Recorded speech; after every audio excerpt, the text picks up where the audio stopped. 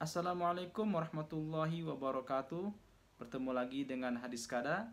Pada kesempatan kali ini kita akan membahas fitur-fitur terbaru dari Scalar yang sangat penting dan perlu Anda ketahui.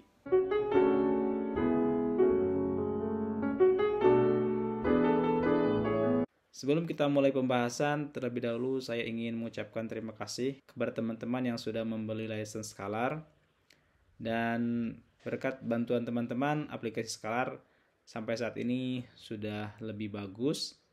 Beberapa bug sudah diperbaiki dan beberapa fitur tambahan sudah kita tambahkan. Sekali lagi kami ucapkan terima kasih. Semoga aplikasi Scalar bisa bermanfaat bagi rekan-rekan sekalian. Aplikasi Scalar yang terbaru adalah versi 1014. Jadi teman-teman yang belum update silahkan download aplikasi skala terbaru di websitenya hadiskada.com. Dan bagi teman-teman yang berminat untuk membeli license-nya Scalar, silahkan hubungi kami. Fitur pertama kita adalah user management. Jadi kita bisa menambahkan beberapa user di sini. Kita bisa mengatur levelnya. Contohnya di sini saya buat dua user, satu admin, satu operator dengan level yang berbeda dan kita harus enablekan uh, user login ini. Nah nanti ketika kita jalan ke rantai maka akan muncul uh, form loginnya. Nah seperti ini. Kita inputkan baru kita login. User login tersebut bisa juga kita pakai sebagai level akses. Jadi kita bisa buat tombol. Seperti di sini ada kontrol 1 dan kontrol 2 kontrol satu ini bisa kita atur user levelnya jadi satu misalnya lalu kontrol 2 user levelnya dua. Jadi hanya user dengan level yang sama atau lebih besar lebih tinggi yang bisa mengoperasikan tombol tersebut. Seperti ini. kemudian fitur yang kedua adalah group polling. Jadi di sini di tag management untuk koneksi ke Modbus itu saya tambahkan fitur Modbus Group Polling. Jadi kita bisa menambahkan beberapa grup. Ada register awalnya sama register uh, panjangnya. Jadi kita bisa buat seperti ini contohnya. Modbus Group Polling ini berfungsi untuk mempercepat proses polling data ke Modbus. Jadi kalau kita tidak pakai ini nanti pollingnya akan dilakukan per satu tag tapi kalau kita pakai grup nanti pollingnya dilakukan per satu grup. Jadi akan lebih cepat. Fitur selanjutnya adalah float tag scale. Jadi di bagian tag management kita bisa mengatur contohnya ini mengatur scale faktornya pakai angka desimal angka floating. Jadi kalau sebelumnya kita hanya bisa atur scale-nya uh, angka tidak tanpa koma jadi satu dua tiga bilangan bulat. Nah sekarang pada fitur terbaru kita bisa setting scale faktornya pakai angka floating atau berkoma. Seperti ini. Oke jadi nanti ketika di kita running hasilnya adalah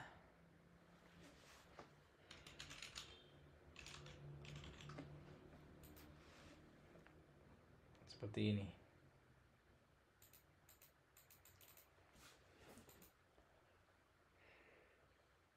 Terus selanjutnya adalah kita tambahkan action click.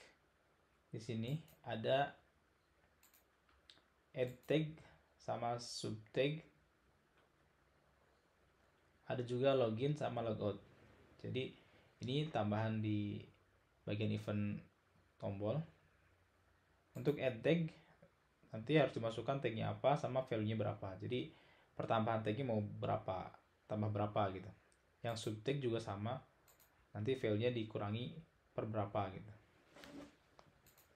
Ini kalau kita jalankan.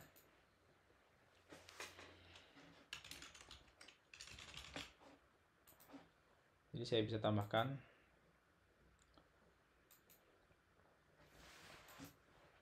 Atau kita bisa kurangi.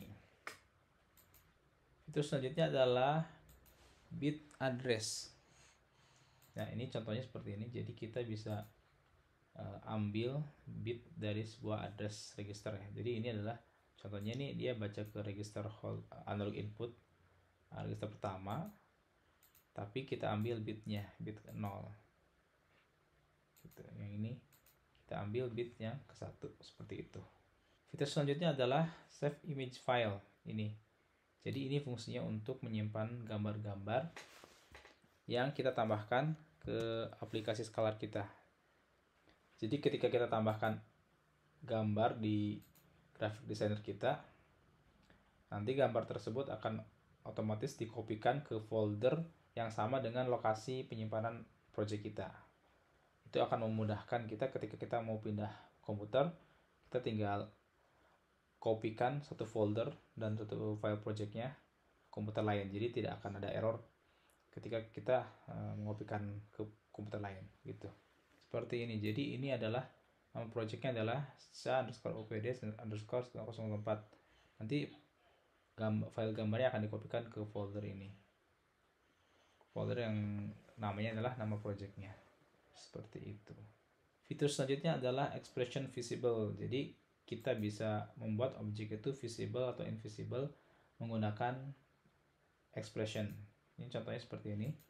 Jadi titik 1 titik 2 lebih besar titik 2 10 ini artinya visible-nya ini akan aktif kalau titik satunya bernilai lebih besar dari 10 ekspresi ini bisa teman-teman ganti misalnya jadi lebih kecil atau sama dengan atau tidak sama dengan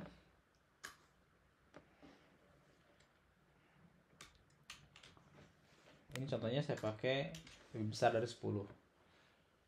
Okay.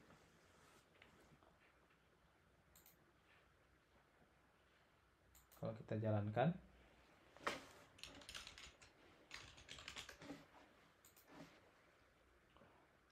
Ini saya tambahkan. Nah ini di angka 11 ini sudah muncul. Atau kurang lebih 11 akan hilang. Tapi kalau lebih dari 10 akan muncul.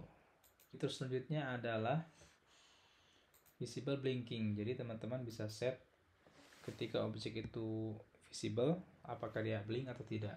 Jadi ada di bagian dinamiknya ada property blinking. Teman-teman tinggal aktifkan saja. Seperti ini ini ketika tag 6 nya bernilai 1 maka dia akan blinking. Kita coba saja nanti seperti ini.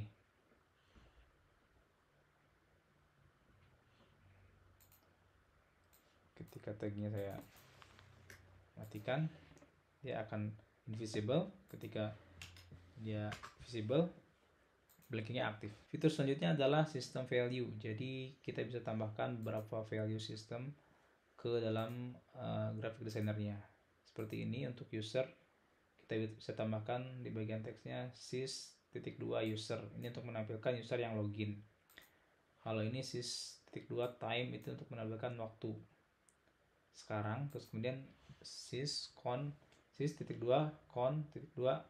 Ini indeks indeks koneksi di bagian tag manajemennya di sini tag connectionnya. Jadi kalau koneksinya aktif atau connect connected maka akan muncul connected. Kalau dia tidak connect maka akan muncul disconnected seperti ini. Nah seperti ini connected di sini. Dan yang terakhir adalah license key. Jadi ada sedikit perubahan di bagian license key. Teman-teman bisa cek ininya lebih panjang. Jadi bagi yang sudah membeli license Scalar saya minta untuk mengirimkan kembali license key-nya untuk saya perbaiki untuk saya perbarui data license-nya. Oke. Bagi teman-teman yang ingin membeli license Scalar juga, teman-teman bisa buka license key-nya lalu copy copy dan teman-teman kirim ke kami. Demikian video kali ini, semoga bermanfaat. Silahkan di-download aplikasi Scalar terbaru. Dan bagi yang membutuhkan license, silahkan menghubungi kami. Dan jangan lupa untuk subscribe, like, atau komen di channel Hadis Kada. Terima kasih, sampai jumpa pada video selanjutnya. Wassalamualaikum warahmatullahi wabarakatuh.